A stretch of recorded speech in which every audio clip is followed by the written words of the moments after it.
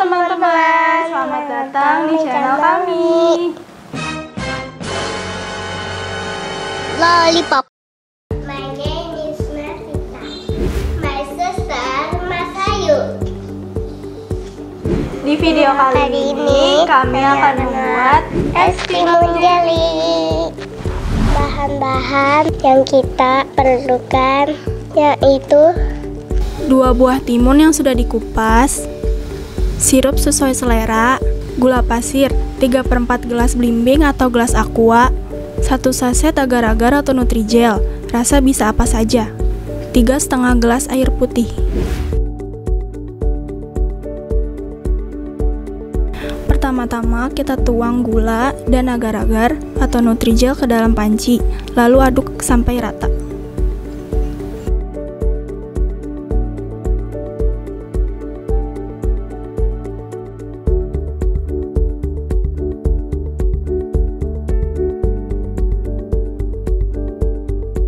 Kemudian tuang 3,5 gelas air putih. Aduk kembali hingga merata.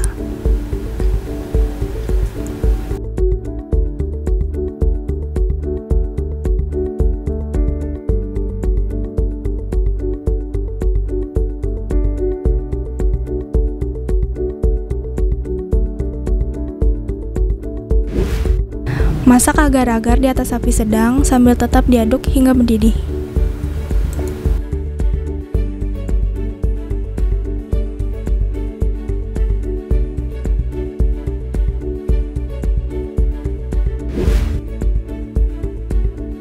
Tuangkan agar-agar ke dalam wadah dan biarkan mengeras.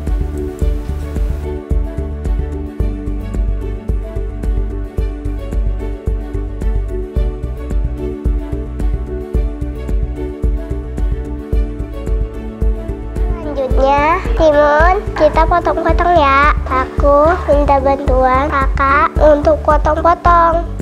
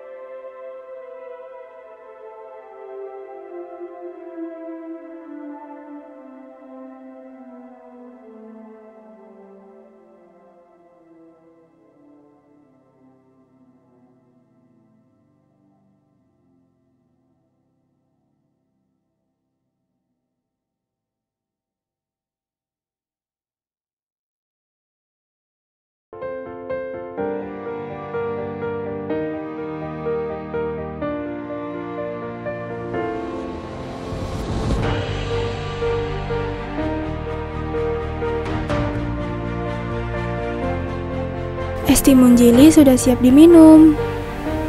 Enak loh. Diminum dingin enak loh dan juga bisa untuk takjil buka puasa. Sampai jumpa di video kita selanjutnya ya. Jangan lupa like, komen, komen dan subscribe. Komen. Klik dong.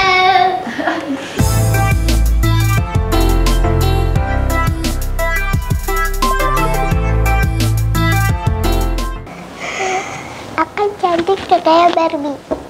Aku cantik lah.